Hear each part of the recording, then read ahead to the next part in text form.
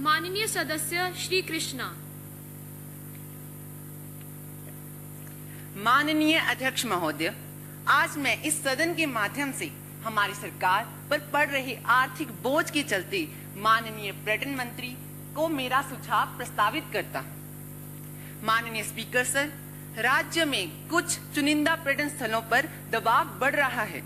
इसमें शिमला, कुल्लू, मनाली कसोल जैसे पर्यटन स्थल शामिल हैं, जहाँ अभी तक हमारा राज्य ट्रेनिंग, पर्यावरण, बर्फीले पहाड़ और बाइकर में खासा चर्चित है। महोदय, वर्तमान समय की ज़रूरत को देखते हुए मैं माननीय पर्यटन मंत्री जी से आग्रह करता हूँ कि इन पर्यटन स्थलों के साथ ही अब हमें पर्यटन की नई संभावनाओं को खोजने की आवश्यकता है। ये संभावनाएँ हमारे ग्रामीण क्षेत्र में हमें सांस्कृतिक पर्यटन के रूप में मिल सकती हैं। सेब के बगानों में हमें एग्रीकल्चर टूरिज़्म के रूप में मिल सकती हैं। बाइन डिस्टिलरी टूर में भी पर्यटन की अपार संभावनाएँ हैं।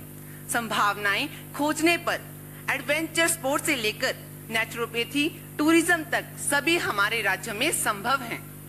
आप हमारे गरीबी राज्य उत्तराखंड को ही देख लें। हेल्थ टूरिज़्म से राज्य सालाना हज़ार करोड़ से भी ज़्यादा की आमदनी करता है।